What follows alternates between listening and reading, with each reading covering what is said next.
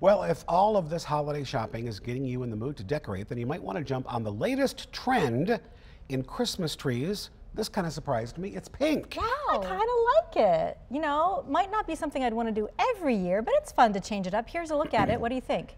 Wheel. Well, it's mm-hmm. different. Mm-hmm. Yeah. A couple We of had a- different pictures here to look at. In California in the 70s, we had a next door mm-hmm. neighbor who I think had a baby blue. One of those wire trees, you know, mm-hmm. where you saw more wire than than bra- Oh, uh, yeah. leaves or what, Oh, needles. okay.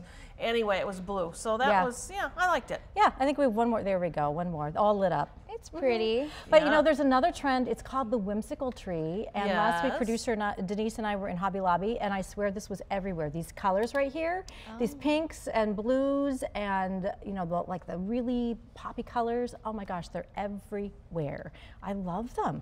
I like it because it's a white tree base.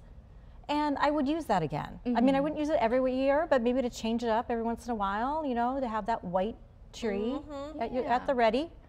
Nice. I think mm-hmm. if it matches your aesthetic of like you know your decorations, it'd Yeah. be cute. But if you just popped it in there with like some red and green, I'm like, Ugh. Oh, I don't know. Like I think it would look cute this year with the big buffalo plaid that's big, you know, the white or the red buffalo plaid oh, and the yeah. sun, Oh, you okay. know. What about real or fake? Oh, I do. Oh, retro. Mine's. I've got the retro tree. It's the it's the aluminum with the color wheel. That I I do that for the last What several kind of Oh, years. where it shines the color from the Yes, it's- oh, it's I very love that. Kirk. And then do you use retro ornaments too? Oh yeah, I've got retro ornaments, and it's the old school Hmm. aluminum. Now I don't have the authentic color wheel Right. because those are kind of a fire hazard. so I have um, a, a modern day color wheel Yep. that's, that's safe. Um, but I love my retro Oh, tree. I very- hope we'll be invited over to Of see course, it. it's, it's very. It's very you. It's very exactly what I would expect you to s- It to matches my mid-century modern decor, and anyway, I, I love love it. You like? What about you? Real or fake? Um, so we, I had a fake one growing up. I never had a real one until probably about four years ago, and cut it down for the first time. So I had that whole experience, and it was fun.